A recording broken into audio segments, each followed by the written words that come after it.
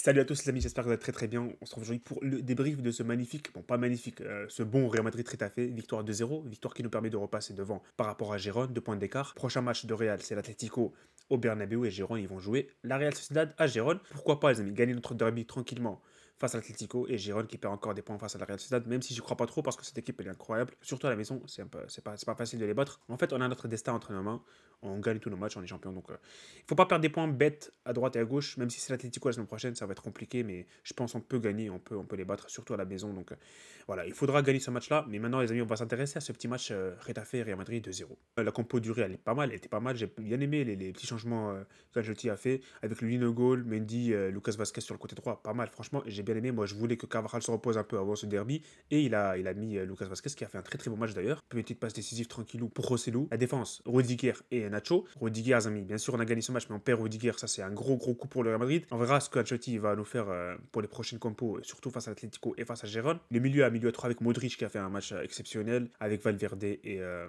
Chouameni. Et l'attaque, il a mis Rossellou et Vinicius. Et bien sûr, Bellingham derrière eux. Personnellement, je m'attendais pas à une titularisation de Rossellou, mais au final, Ancelotti l'a mis. Et encore une fois, Ancelotti les amis, qui ne rate pas. Il l'a mis et il a marqué un doublé. Il nous a permis de gagner ce match. Donc, euh, big up à Ancelotti. Il a pris les bonnes décisions aujourd'hui. Et voilà, Rossellou, les amis, homme du match sur ce match-là contre Etafé. But de Rossellou vers la 15e, très très tôt dans le match, vers la 15e. But de Rossellou, encore une fois, un doublé vers la 58e. Et c'était pas une victoire vraiment compliquée. Déjà, ils n'ont pas eu beaucoup d'occasions dans la première mi-temps. Je crois que Luni n'a pas été mis en danger en première mi-temps. Mais en deuxième mi-temps, ils ont essayé. Ils ont essayé en deuxième mi-temps, surtout au retour des vestiaires. Ils ont poussé, poussé, poussé pour aller euh, chercher ce petit but. Ils n'ont pas réussi, les amis. Et je disais dans le chat qu'il fallait tenir le coup sur ces 10-15 minutes dès le retour des vestiaires. On a bien réussi à les contenir. Et voilà la contre-attaque. La contre-attaque du Real Madrid pour aller marquer. La passe de Bellingham pour Vinicius, Vinicius pour Rossellou, Rossellou. Magnifique le contre-pied qui tue le défenseur. Parce que Rossellou, les amis, on connaît son habilité à tirer des deux pieds. Il a tué Alderete sur cette attaque-là. Et euh, voilà, finition du pied gauche impeccable 2-0. Et voilà, depuis ce moment-là, on savait que le Real Madrid allait gagner ce match. Même si, même si parfois il y a eu ces petits, euh, ces petits dérapages un peu en défense avec Chouamini qui fait la passe un peu bizarre pour Kamavinga. Il y a Luni qui fait un gros arrêt. Il y a aussi une grosse erreur aussi. Euh, je crois que c'était de sur le côté gauche. Nacho, il fait une passe un peu approximative aussi. Et ça a bien été récupéré par la défense. Mais voilà, à part ces erreurs-là défensives du Real Madrid, on n'a pas vraiment été mis en danger. Il y a Mason Greenwood qui a essayé à 2-3 reprises de tenter des tirs, lointains et il n'a pas réussi. Hein, ça touche le poteau, je crois, sur la frappe en deuxième mi-temps. À part ça, ils n'ont pas été dangereux. Cette équipe de Retafe, il y a 2-3 occasions, mais rien, rien à signaler. Et le Real Madrid, les amis, le Real Madrid aurait pu gagner facilement 5-0 ce match si Celo avait été un peu égoïste sur cette action. Euh, la contre-attaque, il fait pas ça. Vinicius, Vinicius, qu'est-ce qu'il fait, les amis? Franchement, Vinicius, il m'exaspère, les amis. Il m'exaspère. Pourquoi il pique le gardien? Il a, tué le, il a tué le gardien? Le gardien, c'est bon, il est mort, il est out. Il essaie de le piquer il essaie de le piquer. Ça sert à rien. Je suis un peu déçu parce que voilà, on aurait pu gagner ce match 4-5-0 et euh, au final, il y a ce manque d'efficacité. Il y a Valverde qui m'exaspère aussi. Valverde, pourquoi il tire pas? Expliquez-moi, les amis, pourquoi Valverde n'a plus, envie de tirer? Franchement, si quelqu'un a une explication, il me dit en commentaire. L'année dernière, euh, je crois, mi-février, il avait 15 buts. Là, il a quoi Deux buts maximum. Je crois qu'il a la meilleure frappe dans toute l'Europe. Il n'a pas envie de tirer. Ça doit être une décision d'Ancelotti, mais. I don't understand que les amis, j'aimerais bien parler de Rosselló un peu. Il a eu beaucoup d'occasions aujourd'hui. Hein. Il, a été vraiment très très bon dans ce match. Homme du match sans contestation. Il y a aussi Lucas Vasquez qui fait un bon match, Marcel, Marcelo Modric aussi. Avec cette liberté que Valverde a eu sur le côté droit, ça l'a aidé aussi. Et Vinicius euh, sur le côté gauche, parce que voilà, on n'a pas vu Vinicius et Rosselló très très proches entre eux, donc euh, ça a créé un peu de liberté pour Vinicius sur le côté gauche et Valverde sur le côté droit. Et Rosselló, il, voilà, il a eu son rôle de pointe, il a dérangé les défenseurs, il les a tués les défenseurs. Franchement, ça a été vraiment difficile de tenir aujourd'hui. Alderete et Duarte, ils n'ont pas réussi, les pauvres. Et voilà, Rosselló doublé, les amis, le but de la tête incroyable au premier mi-temps.